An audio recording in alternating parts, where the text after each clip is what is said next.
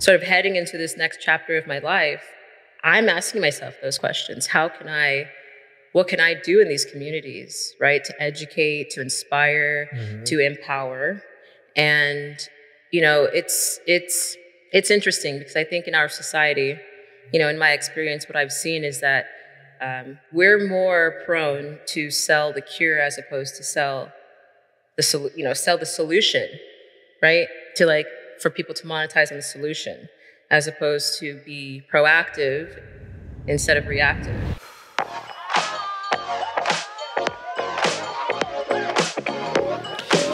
If your heart's the most beautiful thing about you, then nothing else matters.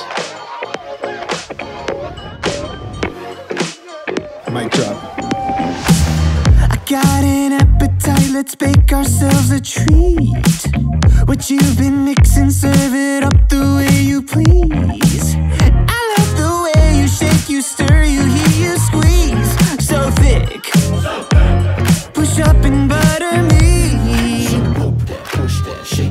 What's up, guys? I'm Nyesha Arrington. I am a chef, and I'm here on the Live Through Love podcast. We're going to talk about some amazing topics today food deserts, how to live through love. I'm going to show you how to make the most amazing, delicious dish rooted in love.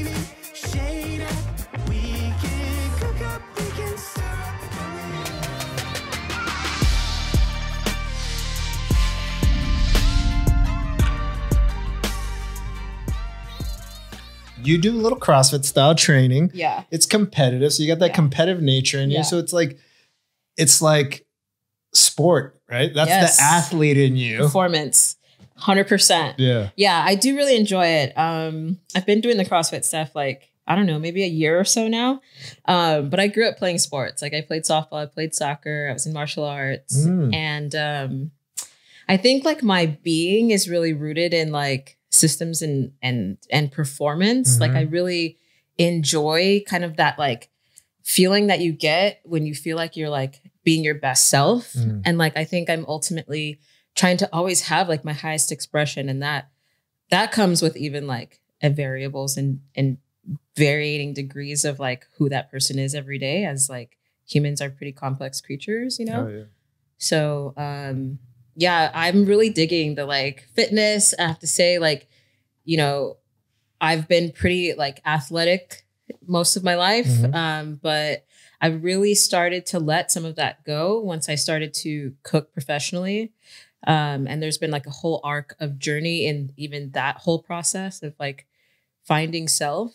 Um and i would say around 2019 just before the pandemic i started to lean back in to like put prioritizing fitness and prioritizing my health prioritizing sleep and really yes cooking for fun and pleasure but also truly understanding how food is affecting my body as fuel Mm. you know and what output that i'm emanating to the world and like am i being kind to myself you know Mhm. yeah So, would you say that reconnecting with your physical being, obviously cooking is very physical, but is it made you more conscious on what you're consuming versus now what you're cooking or what you're sharing with the world? Because that would be your love language, right?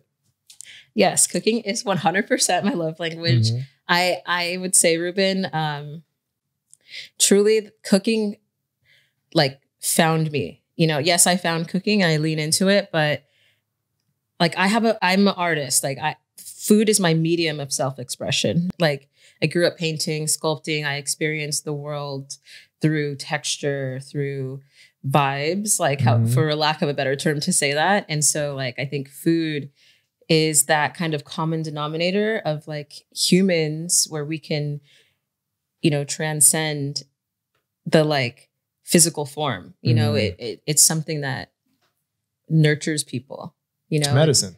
absolutely it's something that lives in the soul you know and so food is my love language and you know i think looking back on my life um i don't think there's any other real job if you even want to call it that um that i would have been positioned to do Mm. like my grandfather was a cook in the Korean War.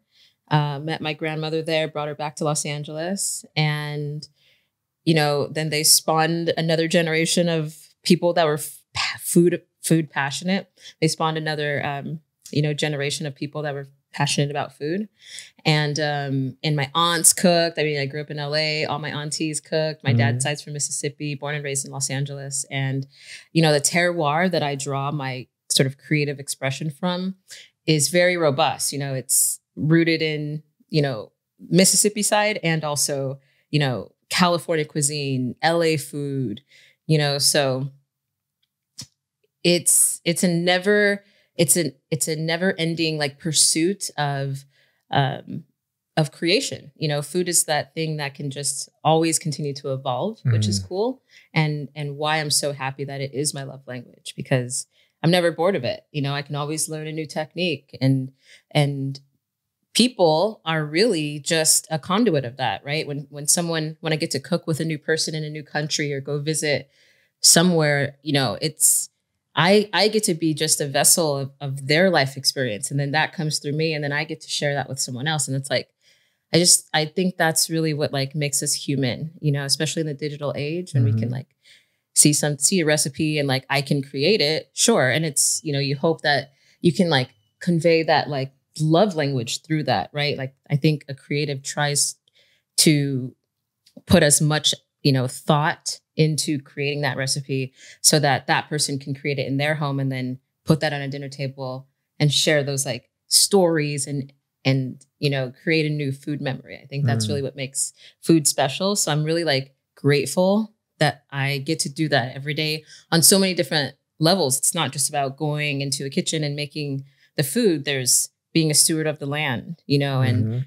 and carrying on that legacy and that energy that the farmer, the artisan put into that, right? Even the soil, right? Is the soil alive and happy soil that creates the vegetables and all the things. It's just like never ending. So, you know, I think that's really just, you know, even just from a cellular standpoint, that like ignites us, you know, and makes us feel alive and feel good and continue to share that energy, you know? Mhm. It's a long-winded way to say that. Oh, I love it. It's true, but you over, you went all the way down to the soil where it's coming from. But I love that you keep saying I'm an artist, yeah. right? Because most people look at me and like, oh, you're an artist. You paint murals and paintings. I'm like, a lot of us are artists. We're Mm. all artists and we're all creatives. Mm. And we just do it in different ways. You're doing it with food.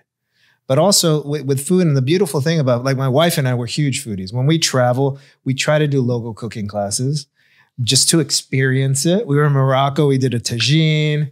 We were in Italy, and I remember in Siena. Oh, I love that city. Mm. We made pasta from scratch, and the the father that taught us, his daughter translated because he didn't speak any English. Wow. And then we ate the food that we cooked later. It was just a beautiful thing. Gorgeous, right? And that'll live in your family's soul. And then you can share that with your children Mm-hmm. and then they can share that story and it lives forever. Yeah. Like that's the beauty. It's in it's it's tangible but intangible, you know? It's a necessity, but it's the ultimate connector. Yes. Absolutely. Absolutely. Everyone can relate to it. No matter what religion, race, you know, ethnic background, like beliefs, like it it is the common denominator. Mhm. Absolutely. So I'll throw in a little loophole right here. Dun, Not dun, a dun. loophole, but a little. Where does fast food play into all this?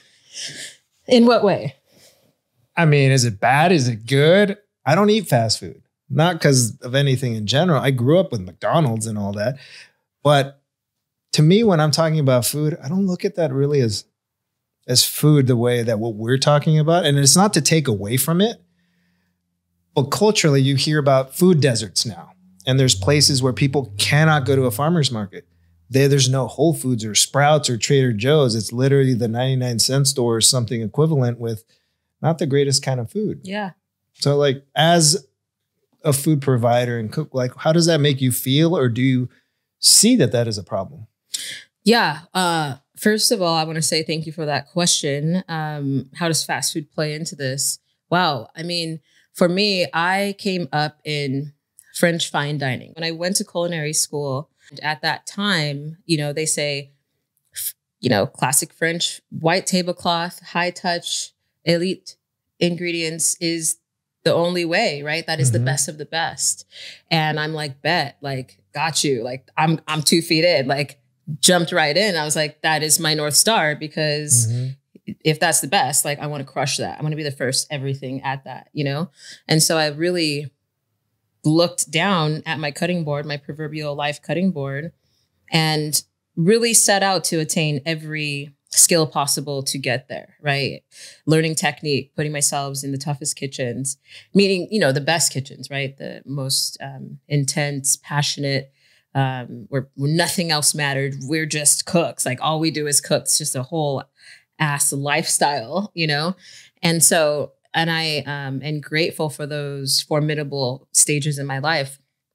But I have to say, um, in tandem with that, you know, there's a, another dialogue at play of like culture and heritage. And, you know, I think as time went on, um, speaking to sort of my life journey lived thus far, um, you know, I think when you're on, when you're kind of living this human experience, you're like, you know, generally trying to understand what is the why, what is the purpose, right? Like, who am I? What do I want to emanate? Like, you know, ultimately. And so being able to see this emerging uh, culture conversation come Mhm. up outside of just European style cuisine, you know, especially in Los Angeles, other people having a seat at the table to have to share their cultures of food Mhm. um, has been a conversation that has become only more robust, right? So I say that in that, you know, I think, especially being a, a POC person, right, a person of color, it's like, yes, I grew up with fast food as well. I grew up with not being able to go to the farmer's market. You know, my parents still eat the same as they did growing up, you know, just not very um you know worldly. My my parents don't have a passport. They've never been out of the country you know? But but i i have valued my my uh, upbringing so much because my dad is a very uh, universal thinker and and my best buddy and like my mom too I, but like my dad is my best friend. And you know my pursuit in excellence is really ultimately like what drives me is to be able to help explore you know with them and to provide new cool opportunities you know? Mhm. and so and to just experience the world you know? And i think ultimately as i want to do that with my per, my family you know i would love to help do that in the food deserts you know because you see a lot more like my aunts all of my aunts all of my most all of my aunts and i still have some uncles around but have passed you know all of my grandparents mostly from heart disease high blood pressure diabetes all of Mm. these issues within the body that are due to mucus, inflammation, you know, you name it. And so that is a direct reflection of what we're putting in our bodies Mhm. to fuel us to have maximum output, essentially. And so, you know, back to my point about having purpose and, you know, retooling what is my you know, North Star, right? Starting in those fine dining kitchens and working my way in and out of them. And now, sort of heading into this next chapter of my life, I'm asking myself those questions. How can I, what can I do in these communities, right? To educate, to inspire, Mhm. to empower. And, you know, it's, it's, it's interesting because I think in our society, you know, in my experience, what I've seen is that um, we're more prone to sell the cure as opposed to sell the sol- you know sell the solution right to like for people to monetize on the solution as opposed to be proactive instead of reactive you know? And so you know again i'm not like perfect. I haven't lived my life perfect but i would say you know i really want to help people and have people understand uh, how important it is to eat healthy you know? Mhm. and i think i think it's a it's a dual there's a duality in it right? I think sometimes you can eat for pleasure and sometimes you can eat for fuel you know? But i think what we see a lot of in the um, food deserts really is that you know it makes sense right? Because a lot of times there's perceived value. It's like am i going to schlep to the farmers market and get these grapes for $20 in Santa Monica when I can go down the street and get spend 20 bucks and feed my family of four, Mhm. you know? So it's like It's a real conversation. it's a huge conversation, Ruben, 100%. And so, you know, I've really been trying to find that access and those connection points to say, like, Nyesha, what can you do to help bridge this gap? Right. And I've, and I'm actively having those conversations.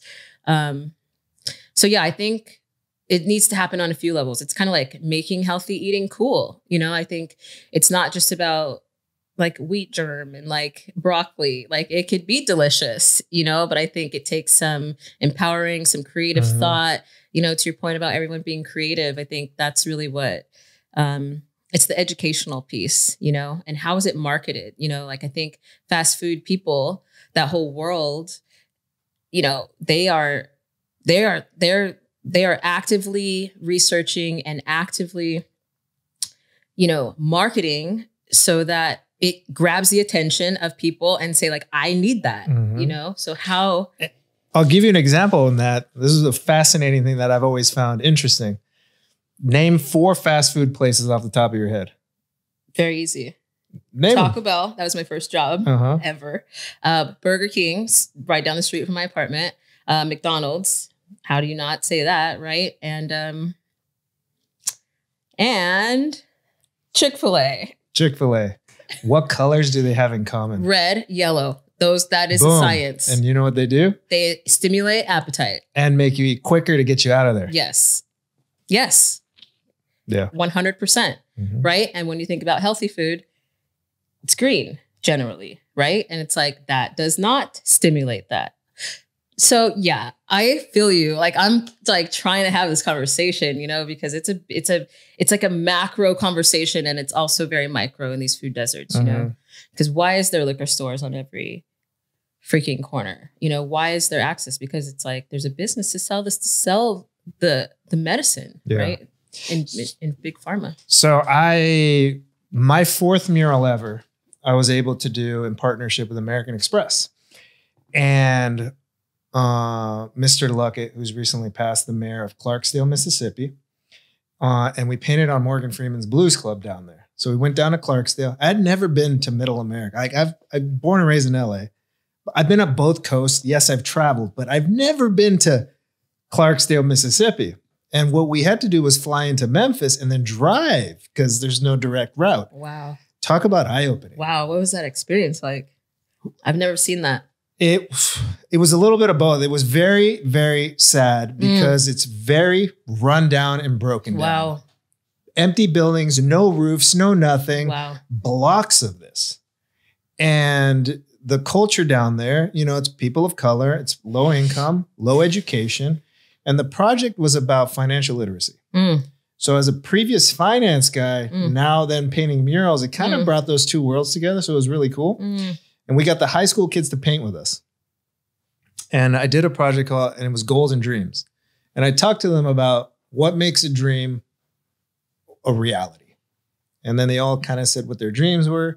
And I said, now you're going to paint those dreams on the mural. And they painted it on the wall. I'm like, now you made it a goal.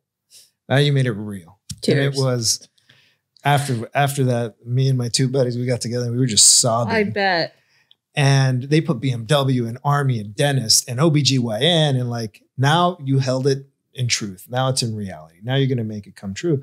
But what I experienced was I loved the Southern pecan beer. It was delicious. The fried green tomatoes, first time having that. Mm. But it was a lot of that heavy kind of food. Yes. And there was no market. We are like, how do we get snackies? I'm like, I need some snackies. Mm. I had to drive, I don't know how far to a Walmart. And that I could barely get some baby carrots and some hummus. Besides that, there's no salads. Salads are a garnish for everything to be on top of. Salad is a lettuce on a cheeseburger. But it, the culture, it was like Ground Zero Blues Club and the homes of the blues. And I saw this 92 year old man in a bar. It was all red, just playing all night long. Mm. And it was just so fascinating. He, you just saw how old he was. Wow. And then I saw this 16 year old kid called Big Fish, who's recently been blowing up since I, this was like 2017. Cool. He just Shout killed Big it, Fish. Big Fish? crushed it. I'm like, oh my God. This, but you know, he was like the big fish. Okay. And and again, it was to me, it's like that's middle America. It crushed me. And it was like, wow, I didn't know this. Like, how privileged am I Mm. to be born and raised in LA to live in Santa Monica, to have Sprouts and Trader Joe's be my normal, Right. right? And it's Right. like, how how can we make that normal? And one of the things that you said earlier was, well, it's easier to take twenty bucks and feed a family of four, fast food. And I mean, I had twenty Mc, twenty cheeseburgers on a Tuesday at McDonald's when I was growing up. It's ten Sure. bucks. But the other side of it, and we can cut and do all kinds of ways of cutting this argument, is what's your health worth after the fact? You know, like the doctor bills and the cancer and the insurance, but we don't think about we're going to be 50, 60, 70. So my wife, she does all the home ordering. Everything's organic. Everything. I'm like, what are these? Because it's expensive. I'm like, we could get this meat or we could get this meat. You know, luckily we can get this meat, but she's like, hey, it's cheaper than the doctor. And like, this is what we're going to feed our kid, and this is what we're going to move forward with. But it, it's, it comes to education. It comes to you're a doctor. You're a doctor of food, and that's your medicine. And, like, Absolutely. how do we move this conversation forward, but also realize that there's all this societal pressure, there's all this stigma, there's, I mean, racism takes a role. Our cultures of where we come come take a role. I think it's just having more conversations. It really is. And this feels really good, you know, because even just having this platform and and being able to share this space with you today, it's it's putting a lot of my inner um, thoughts at ease because I'm saying them out loud with you right now, Mhm. you know, because I'll, I'm self, I'll say like I'm an empath, you know, I feel energy, I feel, I feel the world, you know, and, um, you know, I think helping people find solutions is ultimately going to help selfishly me navigate those things, you know, Mhm. because it's like I want to be able to share my craft with the people, not just the people who can fly in from, you know, the coast of Italy to come, Yeah. you know, whatever. And I do those dinners, you know, and so it's, it's, it's like, yeah, it's true. It's, it's having the conversations, it's empowering people eh, to, to make the choices, you know, and showing people how that $20 can stretch, you know, deliciously, right? Being realistic about it also, Mhm. right? And empowering people to not think. It's kind of a restructure of mind frame also, because I think a lot of people, especially in the black community, I- it's my community, you know, I mean, it's, it's a generational, I'll, uh, maybe trauma a bit, you know, like, Mhm.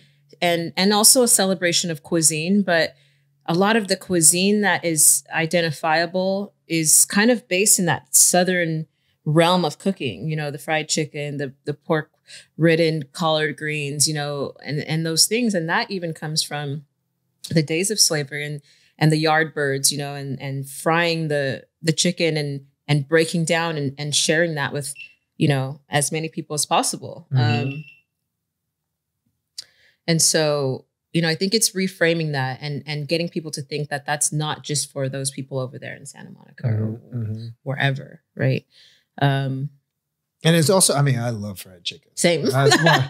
Honey and hot sauce. Same. Oh, I love it. same. But it's it's not saying we can't eat those things. Yeah. And we can't visit and celebrate what led us here. But it's like, how do we amplify that? How do we extend it? How do we open it up so that we're eating a lot of different things? Right. And I and to your point, you know, that's one thousand percent fact because it's like, you know, I think it is a healthy balance between food as fuel and food as pleasure, right? Because when Mhm. you eat that salty, delicious crunch, there's nothing freaking better. Know? But it's like, what oils are you using, right? Are we using oils that are ultimately carcinogenic, Mhm. right? And or not, you know? And it's like it comes down to the data and, and empowering people to have that educational piece too. Yeah. Yeah. So let's simplify it. How do we make $20 a simple meal? So a lot of people say, I can't cook. So, what are a couple ingredients or what's a couple tips that someone can say, this is what you can do? Now you can cook a meal and you can enjoy this. Yeah. And you don't have to be an expert. Thank you for that question. You know, what I have to say and what works for me is cooking in volume. I Mm. think even as a professional avid cook and chef, like, you know, I'd be not telling the truth if it I would say that it's not an arduous task to to organize your thoughts, to go procure the ingredients, prep them, you know, cook the cook them, clean the dishes, eat the meal. Like it's a it's a big undertaking, right? Mhm. So if you're going to do those things, for me, I like to cook in volume and think ahead and maybe cook for a few days. And what can I cook? One time, but it lasts a few days. And so my process around that is, you know, for example, chickpeas, right? Great protein, clean. I'll stew a pot of chickpeas and one day I might chop up some collard greens and add that in. The next day I might puree them and make a quick little hummus, right? Mm. The next day I might add in some short rib or, you know, short rib used to be really cheap. It's expensive these days. But my point being an inexpensive cut of meat. Maybe Yeah. instead of, you know, it's a weekday, I'm not like, it's Sunday, I'm going to have my bomb fried chicken. I'm like, I'm going to get these chicken thighs, sear them off, put the chickpeas in, add some water and braise that. Mm. I have a whole dinner now, right? Yeah.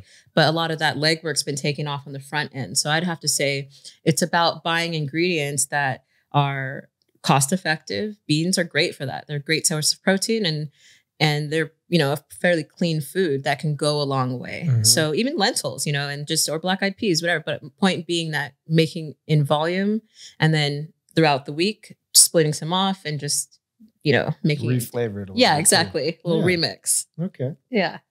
Now, do you believe that there's a perfect food? Interesting. No. Um I would say okay, I I think this. I mean having and this is like um, I'm sort of in uh going down a rabbit hole of this of understanding um even my body, right? And the genetics and and how it's made up and I've done all kinds of things of like how do I eat for my blood type? Um you know, all the little data collecting things that they do. What are my food sensitivities? Like and so I think it's per the person, like what is the Mm, yep. perfect food, right? Like ultimately. Um, but I think, yeah, it's based on genetic makeup, like, you know, where are you regionally? Um, but I would say overall, I would say that it's it's fairly important uh, from like a, a vibe, like energy standpoint, to eat foods that have electricity, that have high alkalinity. You Mm. know, I think, you know, when we can eat foods that are that have life in them, right?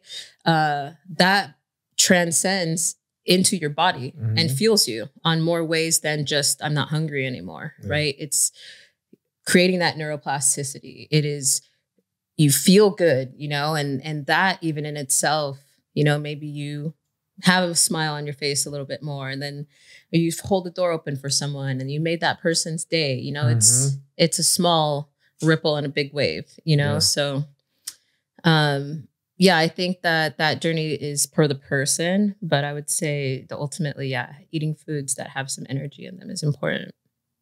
Sourcing. Yeah. Yes. Amazing.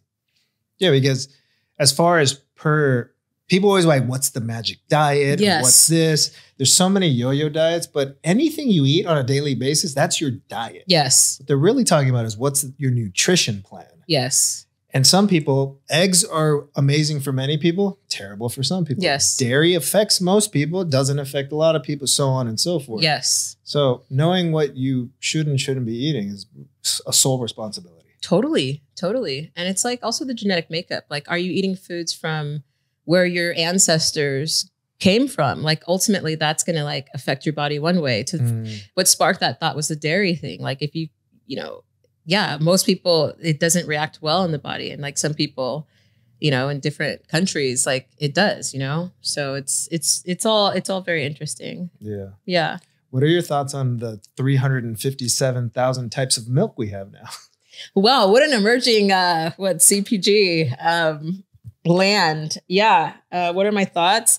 Uh I kind of toggle between oat and almond myself. Uh I might do a cashew here and there. Um but on a daily basis, I've gone down it, down the pipeline on it. Um during the pandemic, I was making my own milks, you know, um and having some uh successes and failures around that because um it can get really viscous very Mhm. quickly if you don't you know have the right processors um but i'm generally not like a, uh milk drinker. Um i'll have some cheese and stuff here and there.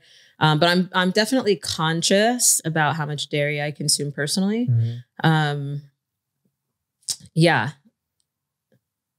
The end I just I laugh about it all the time because there's always a new milk coming out. I'm like, is it really milk? i know You know, Yeah. there's milk and then there's milk alternatives, but it, you can't really milk alternative. Yeah. No, you call it milk. Yeah. You I just think it it's funny. There's so many. Before I know, I was like, oat milk. When did oat milk happen?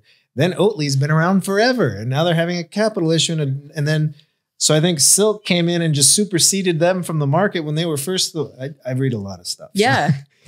Um. Awesome. So my favorite question. Yes. This is where the meat and potatoes of this is. Okay. How do you live through love? How do I live through love? Well, you know, I think I think that ultimately what I've learned, I'll be 40 this year. In my 39 years on the planet, uh, lived thus far is that first of all, I think self-love is very important so Mhm. that you can share that with others. And I also think that finding a craft that you love to do is very important in nurturing that as well. I would say for me, I live through love through my cooking. I mean, it's the thing that I love to do the most because it's the most fulfilling to me. And it's also a conduit of love to feed another. You Mhm. know, the first time I felt in my being what love tastes like was through my grandmother.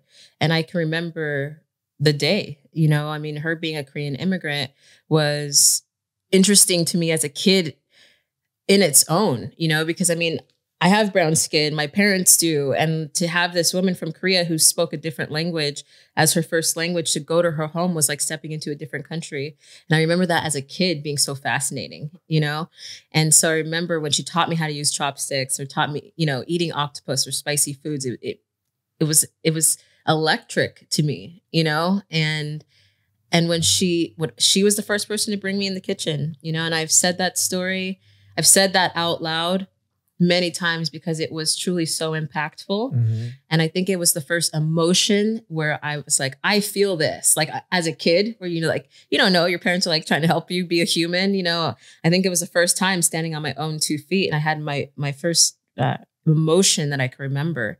And that was love. And that was through the food that my grandmother fed me, you know, and and that is a beautiful thing because I imagine that she loved me so much that she's like, I want to make this dish that nurtures my granddaughter. And I felt it and it was received, you know? So being able to have that moment of reflection is what drives my spirit to evoke that emotion in other people. Mm. Now say that in one sentence. Okay. Um, what I have to say, the way that I live, the way that I live love through food. Is that the word? How do you live through love, or how do you define living through love? There's no right or wrong answer. Yeah. I just want you to be like, what's your hook point? Yeah. I love the stories. No, they're they're amazing. Yeah. I'm, I'm just sitting there. I'm Colombian. I'm Colombian nine generations, but you're like, I went back and went to Korea and saw this. Like when I went back to Ethiopia, where my wife came from, that she had no recollection of, Wow. Was like eye opening. So Wow, I I can really bet. relate to that. Mm. Oh, it's so powerful. My heart just tingled. um, I mean, how I live my highest expression of love through life is ultimately through cooking. It's my highest form. And my grandmother was the first person to introduce that emotion to me. So it is the way that I choose to live my life. And I want to touch as many people as possible through that. From here, we are going to cook an amazing meal. I'm calling it the Live Through Love meal. You're going to cook us up some love, and we're going to show that. And for our audio listeners, this is where you're going to need to tune into YouTube to really check out what's about to happen. So, you ready to take us to cooking school? Yes, I'm very excited.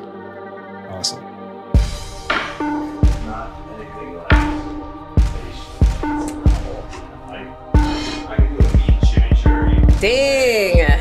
Like it's pretty good. Any any tips and tricks? Garlic to parsley, cilantro ratio, chili. It's, it's it's it's just my it's just the love that I put into the chimi. Boom. It's just the love that I put into it. Like so on brand. like sorry, I don't. I'm, Casey, can I talk? Can I talk? Right Yeah. now? Oh, okay. So so Ben, did you meet Ben? My friend, he's an English guy who um, started a rum brand. I, I thought maybe I thought maybe you met him. There he is. but yeah. think so. So okay, so during the pandemic, Ben goes, "Let's do a chimi off." I go, "Okay." Not know he doesn't know that I like to make chimi, and I've made chimi before. Yes. And so he's got the blender. Yes. He's blending his chimi, and I and I and, and which which is like. You, I mean, for me, you don't do that. Yeah. You don't. You, you don't. You don't. Bl- yeah. Yeah. Exactly. It's and a so, version. so I'm I'm chopping up the parsley. I'm chopping up the the garlic. I've got this organic, you know, red wine red wine vinegar, and then I've got the the specific salt and pepper, and then I do a um a whole a, a whole red chili and a half, Okay. and then a little bit of chili flakes as well. So there's just like this nice sweet spice Oh, yes. to it, and he goes, "I'm never making chimi again." after after he tried it. So we have something called ají. Yes. Uh, Peru has it, Orange Colombia chili. has it. So we have uh, the Peruvian one's orange chili, but our ají is more like cilantro, tomato, all that. Ah. But if you really want to make it spicy, you could blend it, and then it's a liquid version of it. But I like it chunky, so it's almost like a pico de gallo, but my Colombian version of a pico de gallo. But we call it ají. Love it. But the Peruvian ají is the little orange ají chili, but that knocks you on your butt. It really does. I have some in my freezer um, that I brought back and snuck when I went to Peru. So delicious. It's like a floral citrusy chili vibe. Yeah. yeah, put on your alpaca. Yep. But you gotta cook alpaca right. Or yeah, it's, very true. I tried cuy there for the first time. Mhm. Yeah.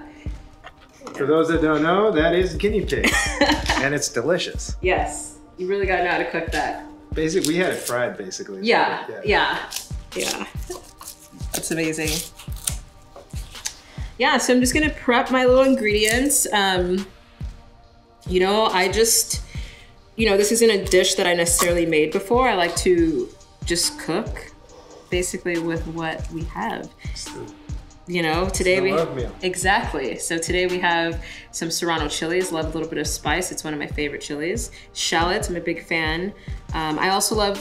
You know, this is sort of the. Um, you know, um, can't think of the word. What's the onion family? Gabe. Yeah. Called. Um, like garlic, onion, Leeks, green onions, shallots, leeks. onions. shallot, yeah. I can't think of the name. My brain is in the middle. yet. Right? That it? Is fennel part of that? No, fennel is not, but um, it'll come to me. That looks like a cabbage onion. Brassicas, I love, I love that. fennel. same. Um, yeah. So You're saying like the crustacean or the fungi. There's a there's a name. a class, a it. genus, a species. You know what? We should look this up. Yeah. What is this? um, alliums. Allium. Yes. So. Yeah, right? It's all to Oh, yeah, al- alliums. I've heard that before, but I would never remember that. so I have my alliums. The genus is Allium. The family is Allinis Eliacea. The order Asparagales. The class Liliopsida. Hmm. Kingdom Plantae. That was in your notes section on your phone, right? Google. Google. yeah, so today our alliums uh, are some garlic, um, shallots. I love the I love to use shallots a little bit sweeter um, than an onion. Um, yeah, and then we're using this beautiful fish that you brought from Alaska. yeah. Any story we have behind that? Uh, 2017. I believe this isn't from 2017. this batch, but in 2017, still year one meeting Z. She's like, "Want to come to Alaska, meet my family?" And like we went up there. We spent about a week and a half, and part of the trip we drove around different areas. Yes. We went to Homer. Okay. I've never done halibut fishing. Like, want to go halibut fishing? Up at like 4 a.m. We're out there.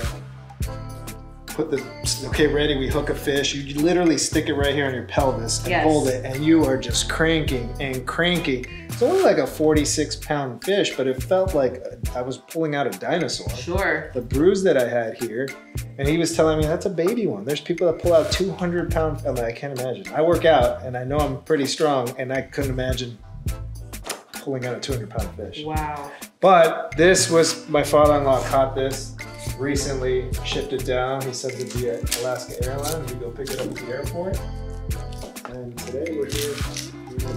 Amazing. Oh, that's what the love is in this dish. And it's so, I mean, I say that in my last restaurant that I had in Venice, um, at pre-shift, we'd always, uh, you know, have a pre-meeting before dinner service and we'd go around and if there was a new dish or we'd do essentially a featured dish of the day and we'd go around and I and I'd ask, what is the love in this dish? And everyone would respond what the love was for that for them in the dish. Yep.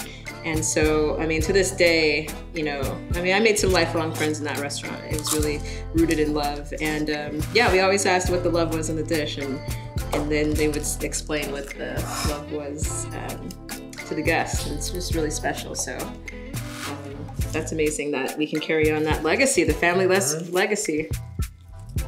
So speaking of restaurants, Yes. do you do what mostly private catering now? Um, so what do I do? You know, I actually need to come up with a term for what it is I do because I'm very unconventional in my approach of chefing. Um, I do what I, yeah, I like that chef shaman. um, I do a lot. It's there's very there's different buckets. You know, being myself as a sort of tree trunk of the creative. Um, you know, sometimes my bucket is television and um, sometimes it's dinner experiences. Uh, for me, no, I don't have a restaurant, um, so to speak, so I, I definitely take um, the craft on the road, if you will. Um, you know, it, it depends on where I'm at and, and what time of year it is. Uh, I've done dinners in Hong Kong, New Zealand, Israel. I'm doing one in Morocco next month. Um, so, you know, that's definitely my love language is being able to travel and connect with people firsthand through the food. Um, you know, yeah, sometimes it's TV, sometimes it's writing and being on a stage for my upcoming TED Talk and talking about it, right? So, you know, the way that I approach cooking, um, it depends on the day, really, you know, and I think that ultimately is um, really a, a form of self expression in who I am and then these like branches that come off, you know, and um, you know, each bucket bucket gets filled up differently every day. Yeah. The one thing I've realized from traveling and eating and doing this, you don't have to speak the language. Yes. Food, food's its own language. Yes, absolutely. Yeah, everyone speaks delicious. Right? yeah, totally. You say the way to a man's heart or a woman's heart through the stomach. No, I love that. Yeah, it's a beautiful art form. And again, it's that real true access of like, you know, being a steward of the land or the ocean or, you know, plant kingdom, the animal kingdom, and Homo sapiens being able to connect. You know, this is that, that access that connects us all. So should I just stand here and be like the annoying guy at the end of the counter, or do you want me to help you? I'm putting you to work, Ruben. Okay. Okay, I need some of these. I wanna. I don't want to cut things wrong. Okay. Pick these parsley leaves. Pick parsley. Oh, I could do Pick that. pepper. I can do that. We're gonna make up a dish. So yeah, I mean, cooking's all about layering flavor, right? So generally, it starts with the aromatics. Today, the aromatics are chilies, garlic, um, some shallots, I also have some scallions. That is a back end aromatic. We have our front end aromatics that generally get cooked or like coaxed out with flavor. That you always want to add your salt in increments, right? So we never want to wait to the end to add the salt to the very end. You always want to layer the season, Is layer that- in flavor, flavor, layer in flavor. Layer in say, yeah. Layer in flavor? Is that well, it's like warming up for a workout? You got to warm up. You don't just start with the WOD. But is that why? Because I sometimes I'm quick. I throw this if I do eggs or whatever. I throw the salt in at the end, and you have it feels like there's no salt, and then you take that one bite, and you're like, oh, there's all the salt. Exactly. Right? As opposed to if it's a scrambled egg, you add the salt to the egg, beat it in so that it, it's evenly distributed throughout the protein structure of the egg. Right? Yeah. Fascinating. And that's the beautiful thing about cooking. It's like, it's an art, it's a science, it's creativity, it's chemistry. So, how did you get into um, what you do? So I've been an artist my entire life, but in our generation, no one says go be an artist. They say go be a doctor, a banker, a finance guy, a lawyer. Sure. So I went to school to be a doctor. I was gonna be an orthopedic surgeon. I got degrees in all that stuff. Yes. Then I took the scenic route, right? I ended up in real estate. Yes, they keep telling me you're really good at what you do. Like you're one of the top talents, you can make millions. I'm like, yeah, but hey, I don't care if I'm gonna make millions. I would see my clients miserable and unhappy, and I'm like, what if I'm I wasn't married at the time, I didn't even have a girlfriend at the time. Like, what if one day my wife and I are enemies, we're divorced, my kids resent me, and all I really had to show for is like, well, I gave you all this money because I did really well, but I was a miserable asshole Yeah. because I hated every bit of it. Yeah. So five years into that, a buddy's like, "Hey man, come get coffee. I'm doing this thing. I'd love to share it with you." It was like right place, right time. Signed up. It's an emotional intelligence workshop. Went through the whole thing, did all this stuff, and by the time we were graduating, the community service project was a mural. And it became a mural because a buddy of mine saw me sketching the team hoodie. Because every time you graduate, your whole team gets a hoodie, and he's like, "That needs to go on a wall." I'm like, what do you mean, mural? Like, yeah. So that became a mural. And he at the time was kind of running up and down the streets trying to beautify it with painting murals. So it became the mural. We enrolled everyone. Actually, the next few leadership classes ended up doing mural projects as well. And then for the next three years, I was trying to figure out what would it look like to be an artist? How am I going to make money? So I started sabotaging the finance business Sure. by not Consciously or subconsciously? both. It was conscious because I knew if I continued to succeed at it, why would I leave? Sure. Uh, subconscious a little bit as well, but also because I had to be strategic. I didn't leave any of my clients high and dry. Yes. I'm very loyal. It's like, how do I transition out? What I sabotaged was making more money. Yes. So I just stopped getting referrals and clients. I'm like, if I'm not bringing in more money, I'm going to have to figure this out. Did a couple art projects for like GT's kombucha. They're like, paint the kombucha bottle 40 feet tall. I'm like, oh, okay, I can make some money doing art. I didn't know what my brand was or anything. What year is this? This was 2015, 16, 17. 2018, I finally left after doing, a, you know, every year I did a little bit more murals. Yes. And my quote unquote free murals were the ones that became this whole live through love thing. Yes. And one day I said, I'm not going to the office anymore. I'm done. And then this just kind of took off.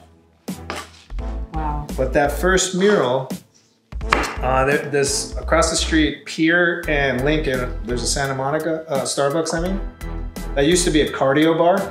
I remember. It's right by Deuce. There was a mural on it with a ton of words. Yep. So that's the first mural. And on the left, it says, Who will you be? Yes.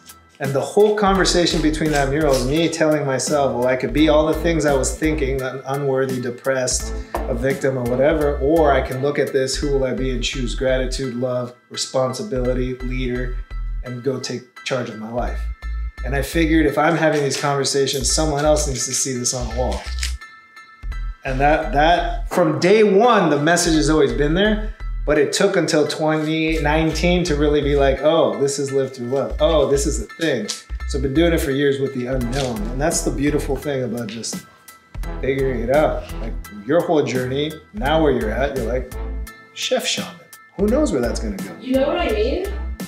That's the stuff that truly speaks to me. Honestly, wagyu and truffles and foie gras all oh, day, and like feed all these like important people. But it's like awesome. Like, how are you self fulfilling? You're, you know, and how are you making an impact on the globe? Yeah. And what lives are you changing that truly don't have access? Right. So like those are when you say like hearing your story. I'm like have these chills because it's like it's speaking to me too. You know, because you are in your craft, it's your career, but like, how is it also, you know, how do you channel that and then make an impact, you know, mm-hmm. more so that lives, that's bigger than yourself, Yeah. you know? Yeah. Yeah, this, I have to do this. Yes. Yes. and it's the impact that you know some of the feedback I get. I painted a mural. So in 2018, when I took the leap, uh, I did a project in San Antonio. I had no idea what I was going to paint. I ended up painting a mural that said "You belong here," but I painted it for myself, telling me that I belong here as an artist. The majority of the people that lived there and saw it and visited painted and said, "I belong here and I, I demand a life." Because some people they messaged me like, "Ruben, I didn't kill myself today because of your mural." And that that kind of messaging is what always shakes me. It's like, yeah, it's pretty to take an Instagram photo and do your thing, but when you take it to that next level and apply it, I'm like, oh, I'm shifting how I'm operating because of this artwork. So that's why I say I have to do this. Yes. Yes. It's beautiful. Thank you for sharing that. It's powerful. You ask, I share. I'm just gonna chop these collard greens down. I chose collard greens today. Um, they're very rich in vitamin A and C. Um, dark leafy greens are super nutritious. Um, and I'm just going to make a little broth, like a beautiful, um, flavorful, sort of rich broth for these greens to be braised in. And just kind of let the fish speak. You know, I think when you're working with great ingredients, you really don't have to do a ton to them. And you know, we spoke a little bit earlier on like braising and cooking in large format, you know, soups and stocks and sauces for the pandemic. When things shut down, I, the, the last public dinner I did was in Seattle, and it was the first dinner that I did um, that was based on you know, I think as an artist or, you know, as a person, you know, we're always kind of trying to discover, you know, have self discovery, I suppose. And for me, you know, I've always kind of asked and been on this journey of like, who am I? Like, what do I want to share with the world? Who, what is my food? And more so, I would say other people ask me that. What is your food? What do you cook? You know, and I've always just been inspired by like, where am I? Who am I with? What season are we in? Right. And uh, that dinner that I did was the first dinner that I did based in a new realm of thinking. And it was like thinking about truly my heritage. So, what bursted, what, what, hello. Um, what the thought was around that was I did these oxtail dumplings. So it was like my Korean side and my African American side in one, which was amazing. And people were super stoked about it. But um, Tarn Roses has some oxtail dumplings. do they? Oh, I haven't been there in forever. Oh, you got it. Let's go. I'm down. Super Andrew's down. a homie. He's great. Oh, good. Yeah. Yeah, I'm super down. This is my brain at work. I'm needing to see all the things. see my.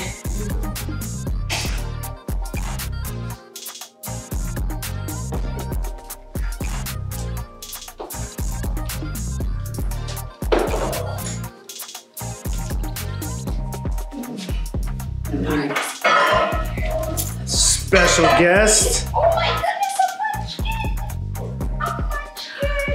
Hi! Hey, pal. This pal? It's my hand. You know. it's my wife's name. We met! I know, but I'm saying each it I'm- I, could- I, half the time I assume they met, and then I didn't meet sometimes, and then all of a sudden, you didn't introduce me. I'm like, but you said you. you know. Yeah, we met without you. Yeah, yeah. Hi. Smells good. Getting there. Are we cooking we love? Always. We're just having convos. Beautiful things. Yes. Yeah, so that was the um, last public dinner I did, and it was based on the idea of um, Afro Korean cuisine, which is something that I haven't actually necessarily cooked. That's your next book. Yeah. And so I think, you know, it's just taken some time to like understand that, you know? Absolutely. Yeah, the Yeah. possibilities are endless. There's also the great genetics of both black and Korean. Talk about black don't crack, black Korean. Ooh-wee. Can't mummify me. We'll probably edit that out, but who knows? B-roll. I'm just gonna cook all this and we'll eat it, right? I brought it all because I mean, there's food. I was expecting everyone to eat. Yeah. There's a hundred of us. I know, that's the thing. It's like always like, don't need to cook for 100. Even for myself, I'm like always cooking for like passing it out to the neighbors. See, I cook. I don't cook a lot of volume. I used to cook more in volume, but it's just because I, I cook. My breakfast is basically the same. Yeah. we What's your cook dinner and we Breakfast is two eggs, four egg whites, three slices of Ezekiel toast, Yeah. and my strong coffee. Yeah. And uh, lunch is kind of I go home it could be ground turkey, sweet potatoes, because I I just need to make sure I eat enough. Just some fuel. Yeah. and then dinner could be half the time my dinner carb is really a half bottle of wine. Like, but when I go to town, I don't go to town a lot. But when I go to town, it's like let me think of what I'm gonna do today. Do you have oh in, when you cook? Do you have a um, favorite dish that you enjoy to eat, or not necessarily? Not necessarily. Yeah, same here. People always ask me that question. I'm like, again, it depends on so many variables. I mean, if I really had to answer, I'd be like pizza. But, Sure. You know, it depends where I'm at. My favorite food in Morocco is a tagine. If I'm in Mm. Italy, it's all of it. If I'm in, you know, it depends where I'm at. Sure, makes sense.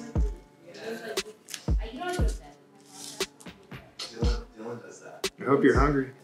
I brought some uh, a little bit of mustard green from my little garden, some chives, parsley.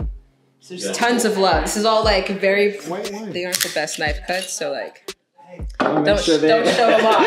No, because this knife's not sharp, so I'm trying to. Yeah, exactly. No, because I'll Don't be you like, normally I'm, have I die. like back here and you just pull it up, ready to go? Yeah, mine are packed away, ready to go to New York, and Someone's gonna really judge you by them that cuts. it's gonna be me. It's gonna break my heart. That's how meticulous my brain is.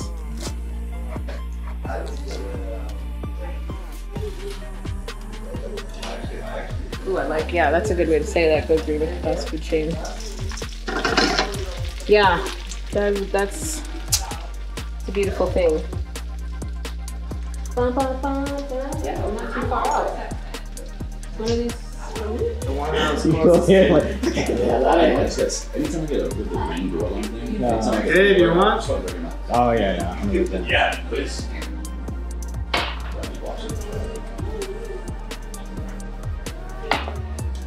Your break-in's been. Chase, you need to cancel your plans. you You need So to stop. You need to stop everything. making plans right after our, our session. We need to get better at time management. That's what we really need to do. Yeah. Actually, no, today would have been perfect, but our whole family decided, like, no, y'all come down to doing it. We'll do dinner down here instead of like, the whole evening just playing up here. I'm like, cool, that's not like another like three hour trip. the most chefy thing. Should be, yeah. Um, uh, Yeah, that's you. over there.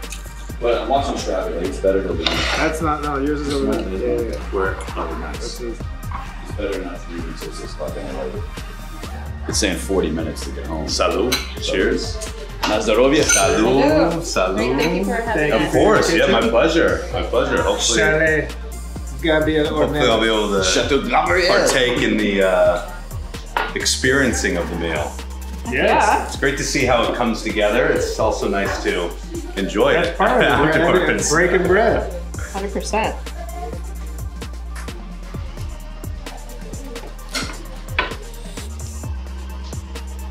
So because only one piece has skin, are you audibling that? I am, I am, um, because this one has scales, so I don't have my descaler, so I'm going to um, create, you know, just sort of everything be synonymous. So gonna take this one off.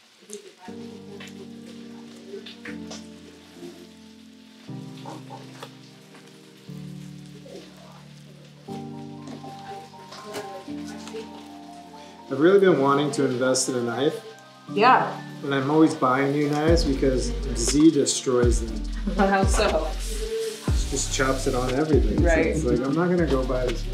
We had a really nice one. It's just like chipped and I'm like, Yeah, the German steel is pretty a harder steel, and the Japanese knives tend to be a little bit softer and um, chip easier. Most of my knives are Japanese, but depending on what I'm cutting. Hattori Hanzo. What is that from? Again, Kill Bill. Oh, Kill Bill. It's so good. I just watched it I the other day. I love that. It's so good. yeah. there's rumors that he was deciding if he makes another one, Really. but because he's he's got one final movie he's gonna make. He's making ten movies. Wow. That's career. the thing, right? All those movies are supposed to be like Yeah. some kind of. So he's trying to figure out what he wants that final movie to be. He doesn't know yet, but he is doing a TV show. And I forgot Oh, the wow. show, but now he's so it'll be interesting. and that won't count toward his final movie. Sure.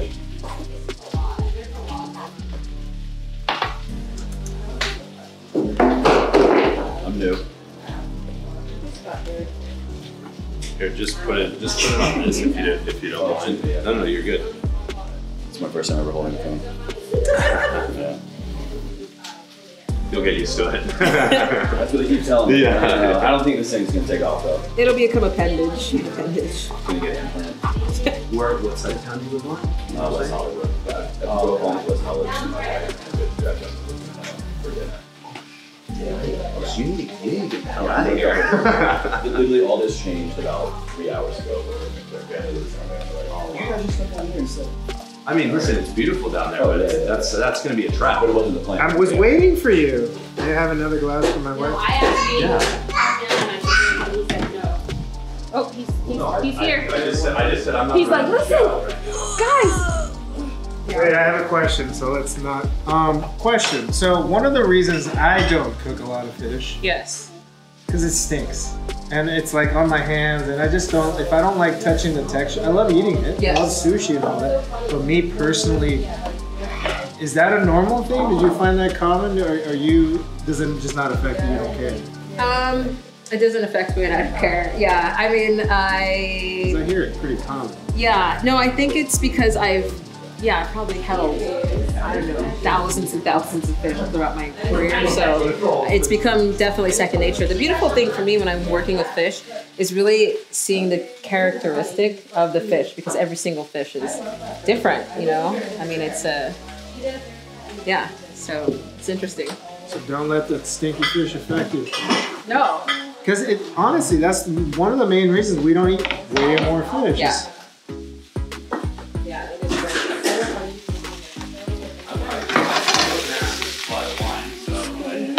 I wasn't. If you have some, I'll reimburse you. Don't worry.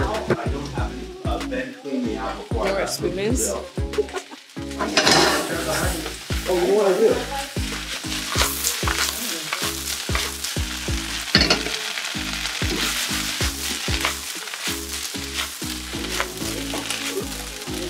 Hopefully one of those was good.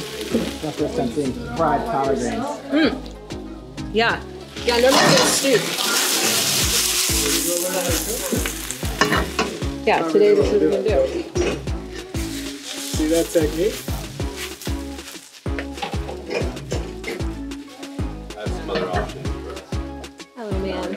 I, I just um I was I was I was traveling so I like my friend cleaned me out of here and I need to a good friend of I need to read You know the thing? He eats everything. Wow. Uh, this is- and- There is nothing he won't eat.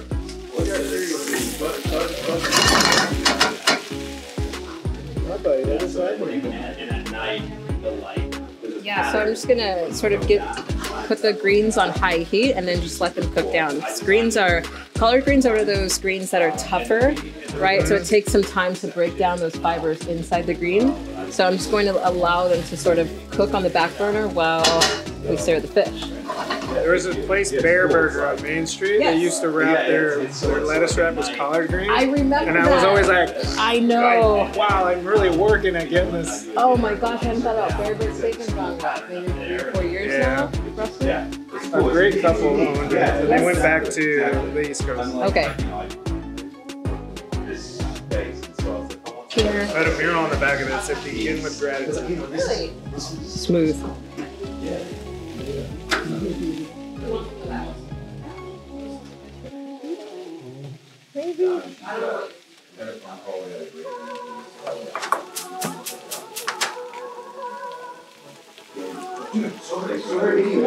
Hope to see hope to see Just regular thing. No, let's just, let's Just space. I mean, I mean, here's the thing. Okay. Friday afternoon, we should, we Finish? should, we should all be doing something. Why not? Just, just don't play Laguna in the, in the afternoon. Yeah. Virgins are on their own time. Oh, okay,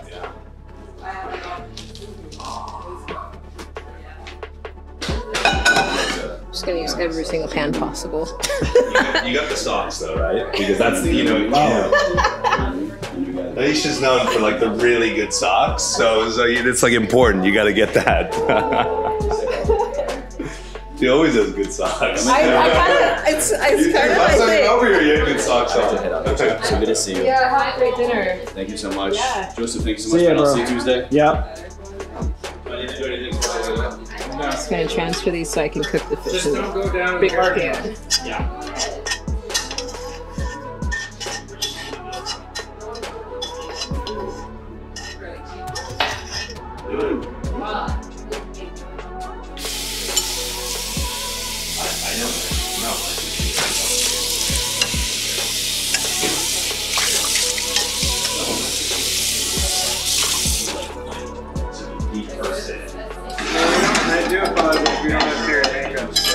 Pardon me?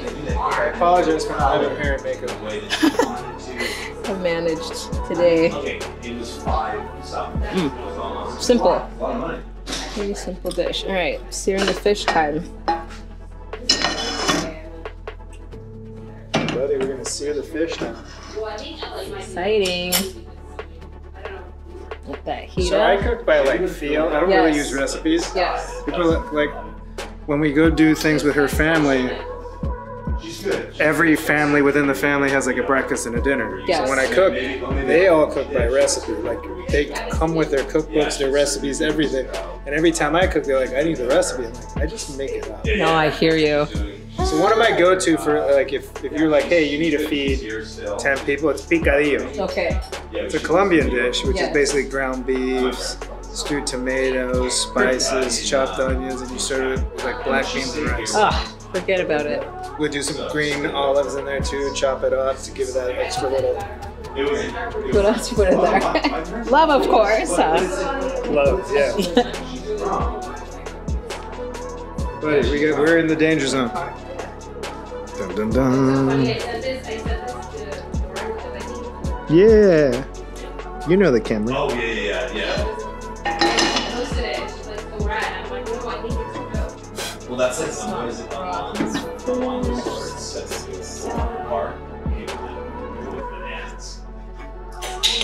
Visually, so it's like fish. Like when do you know? How long do you know? Because there's the this many minutes, but sometimes it's not too long or too little. And that's the thing about cooking, right? Like recipes are generally a guideline because, to your point, you know, the pan makeup that you have versus what I have is completely different, right?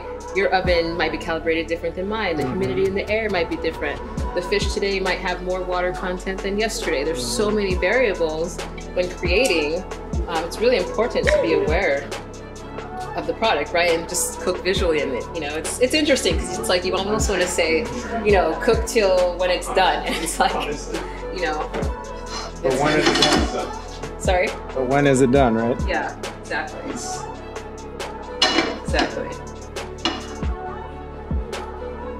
Tell you this: it's much harder cooking while holding him. Your turn, buddy. Want to capture it?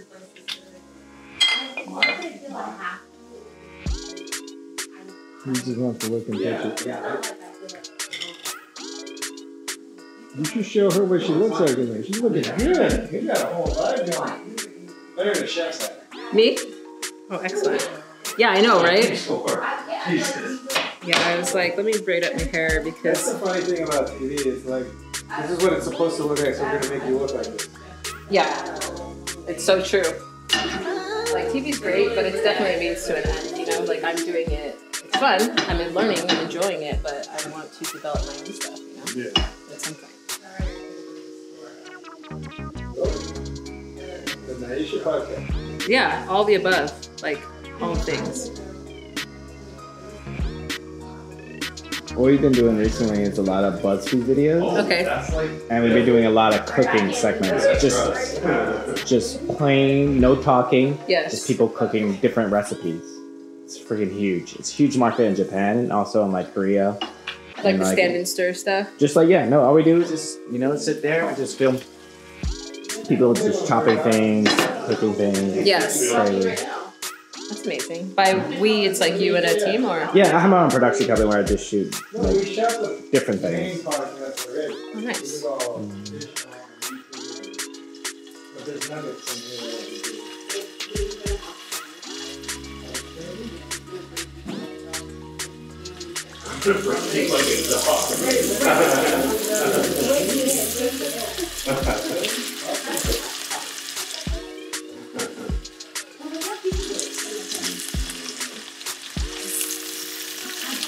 So I want to start with the larger portions of fish because obviously they take longer to cook. Mm-hmm. And it's a good way for me to not have to like be in and out of the pan and everything can sort of cook at the same time. If I start the thicker pieces first, I can just add the shorter, the thinner pieces on the back end and everything will be done at the same time. New trick. Yeah. Trick number two. That became out.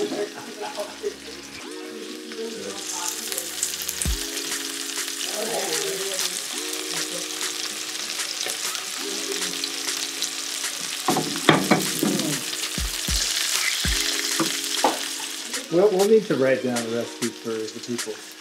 Yeah, so they can make the love recipe. And we'll challenge them. Cook it, tag us, show us. Smart.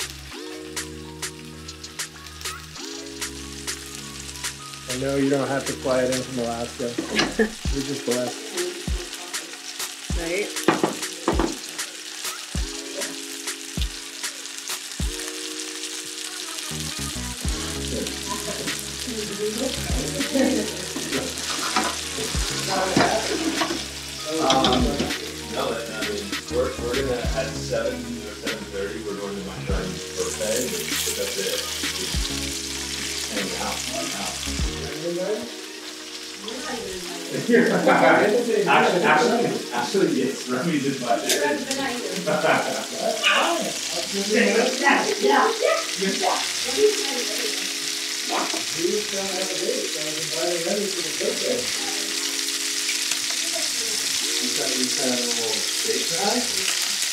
No, no, good enough. Alright. The thing about fish is not moving it around Okay. Because then you break it and it crumbles. exactly, and it tells you when it's done. Essentially, when it when it's when it moves. But I don't want to get too much color on this fish. It's so lean and, but rich at the same time. So beautiful.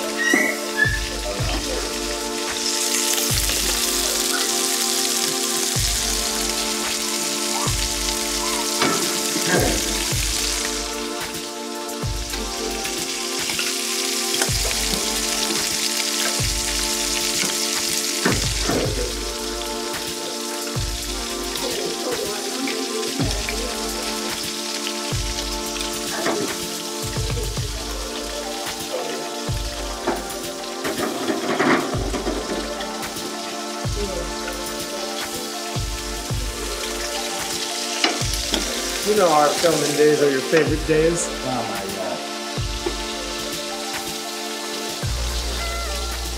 Uh, Especially when you're like, that was fire.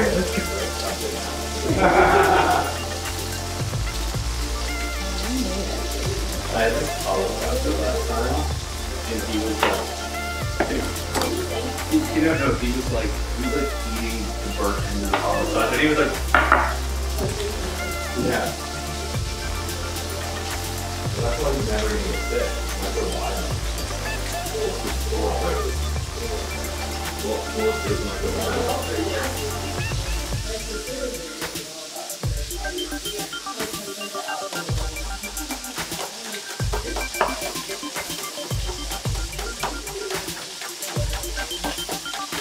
Definitely not how I cut scallions.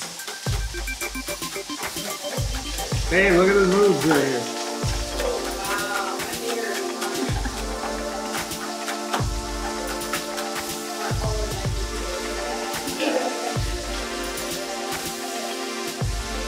Nyesha, I, I met Yes. Yes. She's so cool. Where'd you meet her? Um, at the Hexclad uh, see you there. thing. Yeah. Well, I didn't even know. I got invited by a guy that I've known for a while, but he didn't tell me what was going on. He just said, "Hey, come to this event." Okay. And so I show up, and there was a there was a dinner. I didn't realize there was a dinner, but um, I went to look at her Instagram, Yes. and she was following me. And so I go up to her, and I was like, "She's like, I follow you." She was like, "Hey," um, I said, "I'm sorry, I didn't." I didn't. She goes, "Don't worry. It was only like four weeks ago that I started that I started following you. It wasn't like that long." But she's so sweet. Yeah, I she's a sweetheart. Yeah. I wanna I, I wanna chat with her more. Yeah, no, she's amazing. So you, you live in Nashville, right? On the yeah, yeah, awesome. I, I, I saw some clips, but I didn't I didn't see the whole the whole thing. She killed it. Yeah, no, she's awesome. Yeah. Very cool. And she was so um, easily receptive of the uh, constructive criticism at Yeah. She fucking killed it. She Yeah. brought it and won the whole show. Yeah, yeah, yeah, yeah, I know. Yeah. No, I, I, I really liked her a lot. Yeah.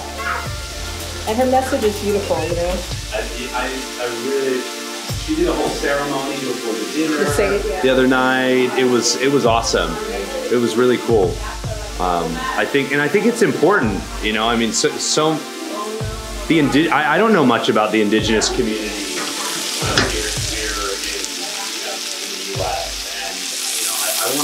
want to. So I said, I was like, any way we can help you out too, like bring your message to more people. I think it's important.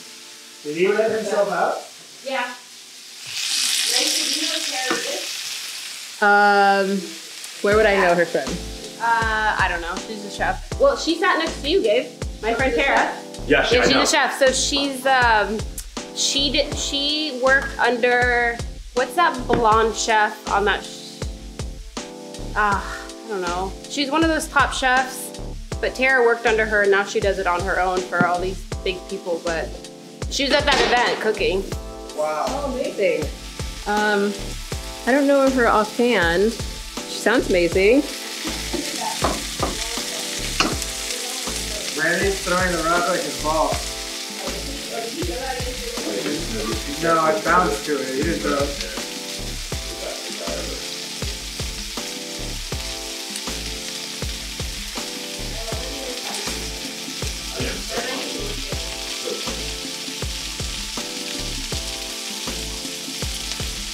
let that cook slowly. This is good to go.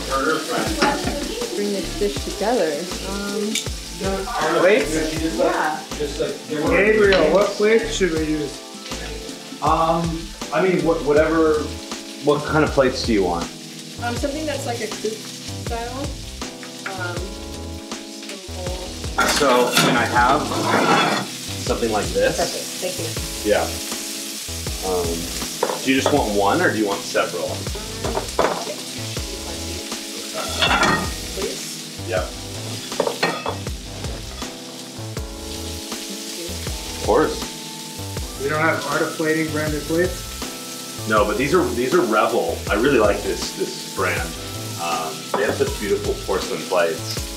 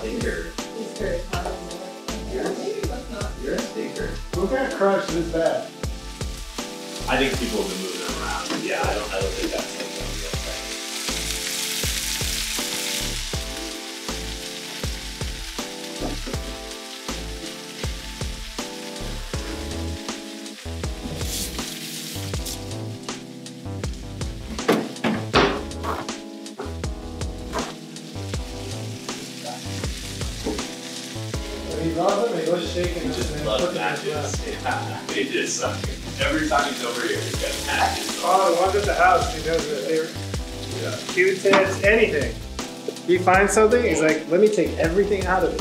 How far does this go? Well, now he's drinking wine, so.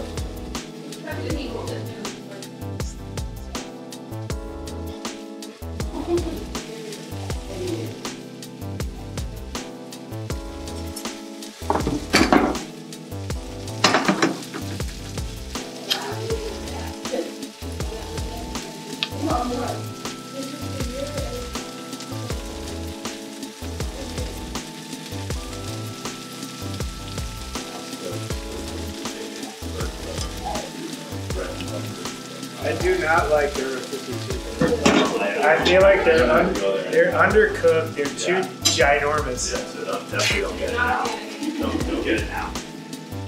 Oh, that was it. He like tipped his head back. He's like, ah, bottoms up. Okay. He's done that before. Professional. Right?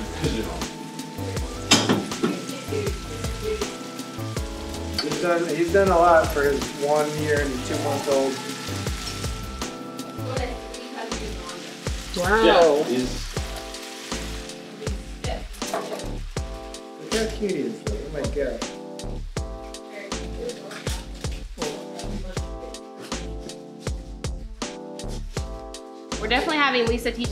him French, babe. Look, they're good, right? that's such good content. Drunk baby. He's like, yes. Hey, bubs. Wow, you're stumbling a little. He's had a, a run in with a pen before. With a who? With a what? Oh, oh my god, you told me that. You told me that story. That's actually, that's kind of scary. You gotta be careful. That in edibles, you can't, I mean, babies, I don't that's like terrible. No, he can't find those. It was it just had he he opened the drawer and pulls it out. It wasn't like it was there. He literally goes, He does a big pull. He's like, Oh, this huge bowl. And it the strongest one I have. It's the it's the bedtime. It's the go to bed. slept, like, slept for four days. Not the blissful have a good time, just go work. The knockout, the knock, the knockout one.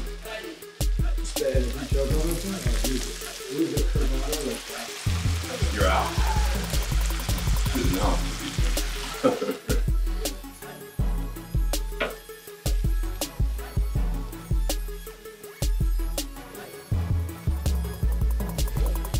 You say you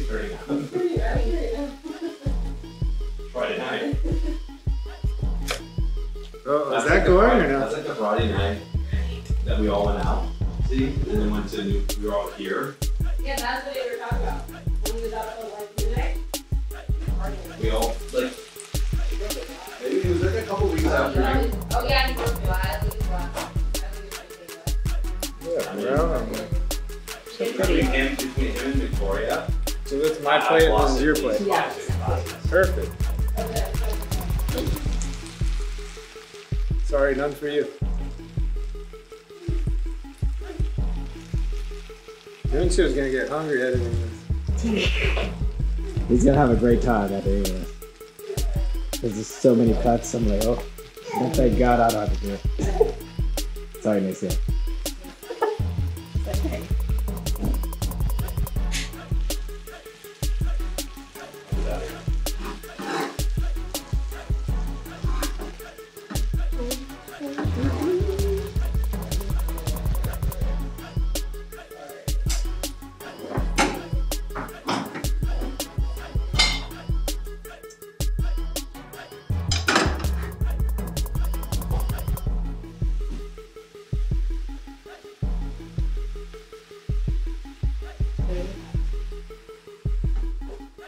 Oh wow.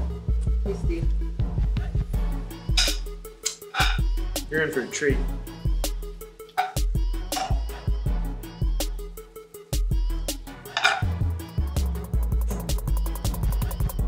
Sorry, there's only two plates. I know we were gonna share earlier, but it's just one for me and one for Nyesha. To watch us eat. Delish. Gabe just rolled his eyes. Wait, what'd you say?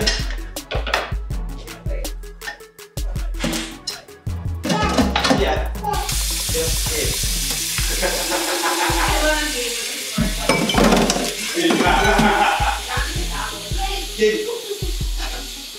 No. Gabe.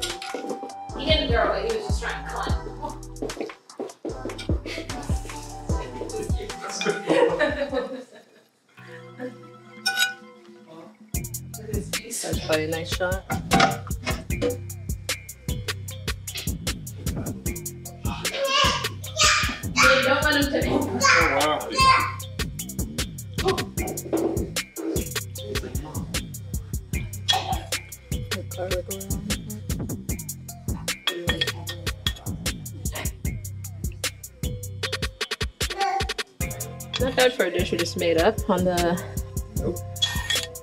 podcast here.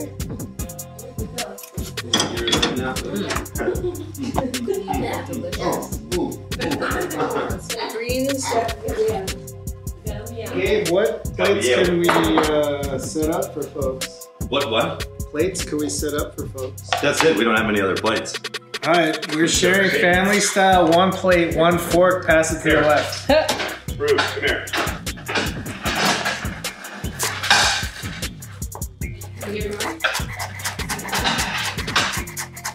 Chives from the garden. Continue the love dialogue here.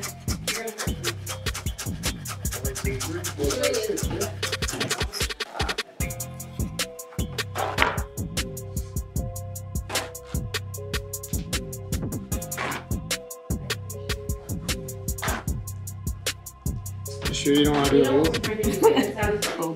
You know, I met him in Istanbul. You did? Yeah, at his restaurant. Really good burger. Wow. Yeah. He's literally this tall. No shit. It's funny because he was bombarded by everyone. We're like, we don't really take photos. People, like, oh, this is a, he's a meme. Let's take a photo with him. He's very gracious. Like everyone's bombarding him, and then he'd be like, hold on, he'd take a photo. And then Yes. he'd be back in and back and forth and back and forth. So Yes. that was kind of cool.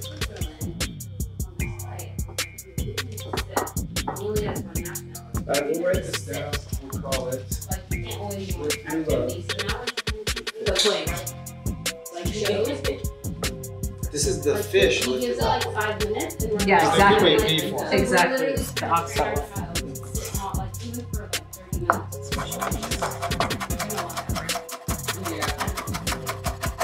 30 minutes. We'll put them on both. Everyone's into Well, chilies. we're not leaving till August. We're going to Spice up your life. Dude. All right. The end. Does everyone want spice? I like Yeah. that. Yeah. This is good. Let's split them both. This is good. Table or set a camera for the table. And then just cut to everyone eating. Yeah, we do. Yeah, by then I can. Well, I know, like, each their own, but like a lot of people. Maybe over the thing. Salud. You got it? Yep. Música